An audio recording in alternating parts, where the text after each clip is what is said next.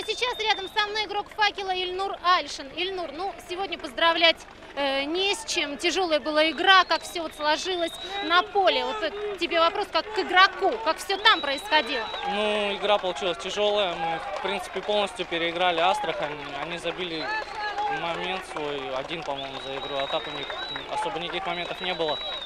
У них вратарь сегодня хорошо отыграл. Все в него летело, он все отбил. То, что какие у нас моменты были стопроцентные. Но мы не должны были эту игру никак проигрывать, я считаю.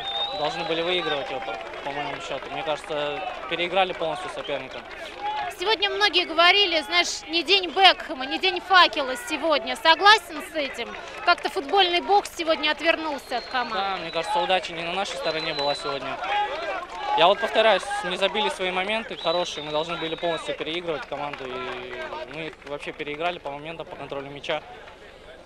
Не повезло, не наш день, я считаю, сегодня. Тяжело было взломать оборону такой команды, как, которая с первых минут э, стояла в забор, а после момента э, вообще закрылась. Ну да, мы э, разбирали эту команду. Она играет по счету хорошо, и с первых минут она начала от обороны играть на своей половине поля, и десятером оборонялись. Конечно, тяжело взломать оборону такую, но у нас были моменты, причем хорошие.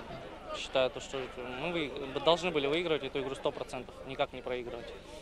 Скажи, каково это играть 25 ноября? Холодно. Да, в Воронеже еще хорошая погода для этого, для футбола, в принципе.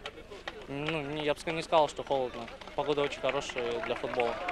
Спасибо болельщикам, то, что пришли при такой погоде, дождь был. Спасибо им большое.